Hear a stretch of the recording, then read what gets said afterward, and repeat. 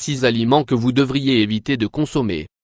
Bien qu'à première vue certains aliments puissent paraître appétissants, leur consommation régulière peut entraîner de graves conséquences pour notre santé. Découvrez tous les aliments que vous devriez essayer d'éviter le plus possible. L'industrie agroalimentaire a envahi le marché avec une grande variété d'aliments qui, bien que très tentants, ne sont pas vraiment très indiqués pour notre organisme. La diffusion constante d'annonces publicitaires peut nous faire croire que les alternatives rapides que l'on nous propose sont apparemment saines. Les aliments sous vide et prêts à la consommation semblent habituellement appétissants. Par ailleurs, ils sont souvent enrichis de certains nutriments et vitamines. Le problème est que nous ne lisons pas toujours les étiquettes en détail. Nous ignorons souvent que ces produits contiennent une grande variété de substances ajoutées qui, avec le temps, peuvent avoir des effets négatifs sur la santé. En effet, ces produits ont tendance à concentrer plus de calories que les produits biologiques et agissent directement dans les problèmes actuels de surpoids et de maladies métaboliques. Comment identifier ces aliments? Pourquoi est-il important de limiter leur consommation? Dans cet article, nous allons partager en détail avec vous les six principaux aliments que vous devriez éviter de consommer régulièrement. 1.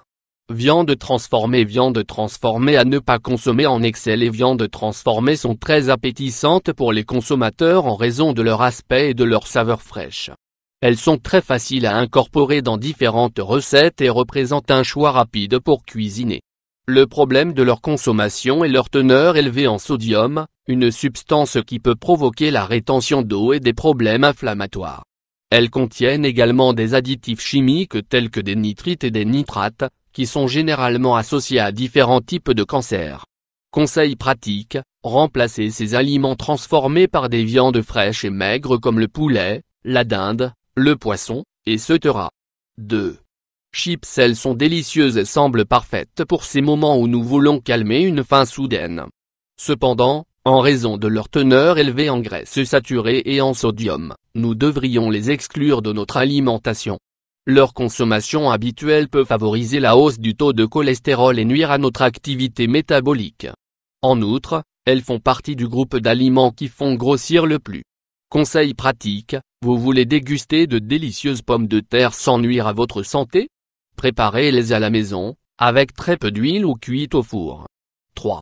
Barres de céréales Barres de céréales à ne pas consommer en excès depuis de nombreuses années, il existe sur le marché une grande quantité de barres de céréales.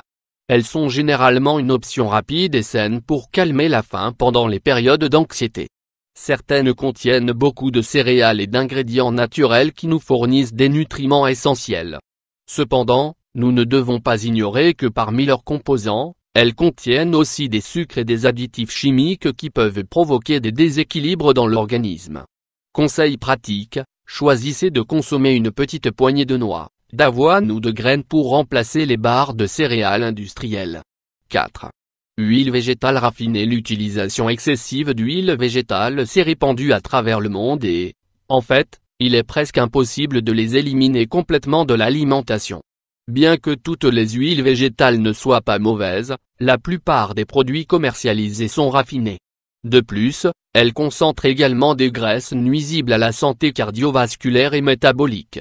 Vous devriez éviter en particulier les huiles suivantes, huile de soja, de palme et de maïs margarine Conseil pratique, évitez au maximum de cuisiner avec ces huiles.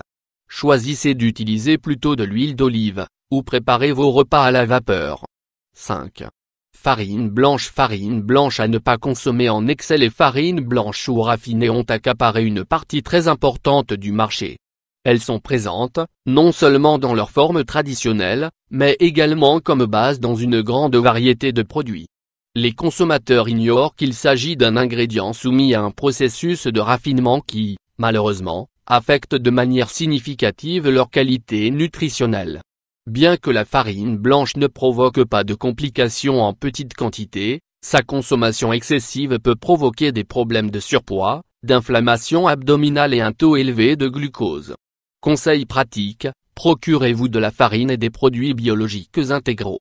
Si vous le souhaitez, essayez des farines non conventionnelles, comme le seigle, les pois chiches ou à base de noix de coco. 6.